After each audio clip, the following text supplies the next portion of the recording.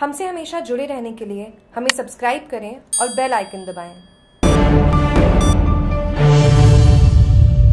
मौलानी के महादेव के नाम से जाने जाने वाले महंत मोहनपुरी महाराज का निर्वाण दिवस सोमवार को श्रद्धा और धार्मिक कार्यक्रमों के माध्यम से मनाया गया भातवा सूदी संपत्ति को आयोजित हुए इन धार्मिक कार्यक्रमों में उम्मेदा राम प्रजापत एवं राहुल सूद द्वारा सर्वप्रथम तारतरा मठाधीश महंत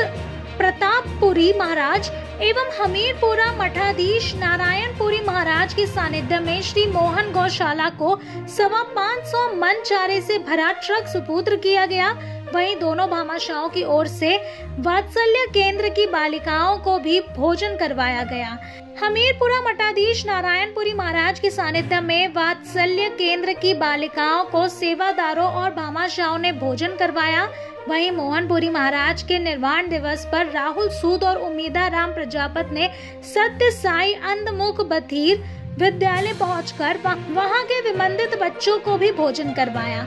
वहीं इस मुख बधीर विद्यालय के बच्चों के लिए सुबह के नाश्ते, दोपहर एवं रात के भोजन की व्यवस्था भी की गई।